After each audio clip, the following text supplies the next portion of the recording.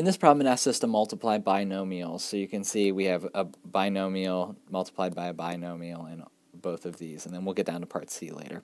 Um, but to multiply binomials, we're going to use this acronym F, O, I, L. And F stands for the first term.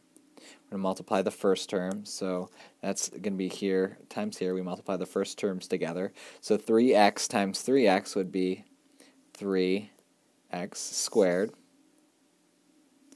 And now outside O stands for outside.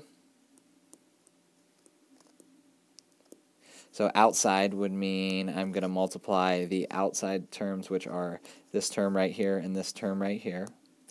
So that's 3x times positive 3 is going to give us a positive 9. x. So positive 3x times positive 3 is positive 9x. Now, the I stands for inside. So that means I'm going to multiply the inside term. So negative 5 times positive x is going to give us a negative 5x. And then the L stands for last. So we're going to multiply the last terms. So you take the negative 5 times the positive 3 is a negative 15. Now take a look. Do we have any like terms we combined?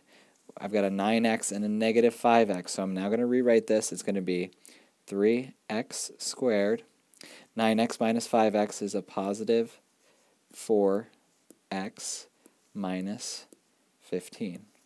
And that's as far as we can go. So we FOILed. Let's try this again. Let's do this. Um, so first 2x times positive x is going to be 2, x times x is x squared.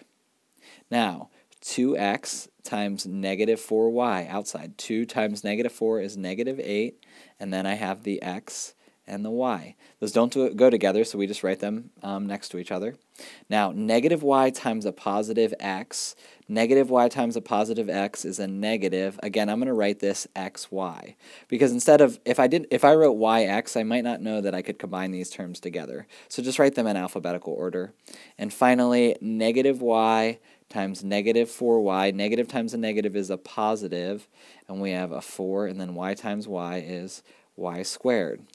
Now let's combine our like terms. We've got a negative xy minus, again, this is a 1xy, so it's going to be 2x squared minus 9xy, because negative 8 minus 1 is negative 9, plus 4y squared.